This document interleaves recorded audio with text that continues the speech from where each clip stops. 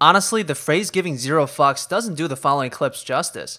I hereby declare that these are four people who give anti fucks.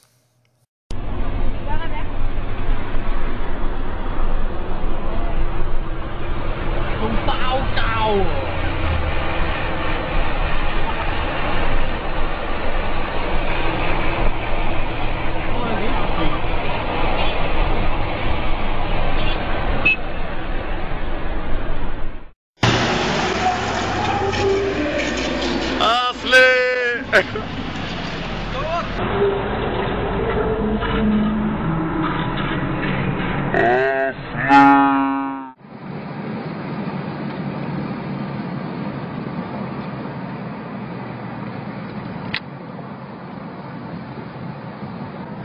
محمد شجر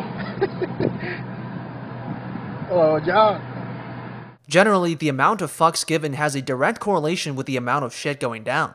This man, however, has the ability to maintain a steady level of no fucks given.